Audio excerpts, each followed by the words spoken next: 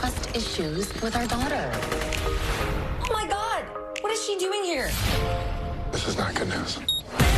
True Lies, two hour finale, starting next Wednesday, 9, 8 central on CBS.